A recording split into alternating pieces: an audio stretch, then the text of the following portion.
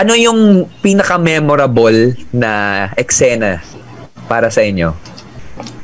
Puro yung kay Kuya Robby yata.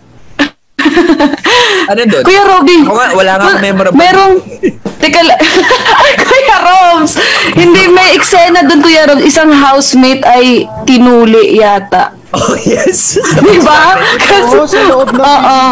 Si Darin oo, oo. Ga. Tapos yung tatay mo yata nagtuli. Tama ba, Kuya Rob? Oo. Oo, yun, tanda ko yun. Memorable yun sa akin kasi, ha? Hindi tinuli, ang laki-laki na. buhay. Parang gano'n. hindi kasi, hindi kasi ano ko, tawag nito, kasi doon ko lang naintindihan na may iba't iba pala tayong kul, ano, kultura sa, ano,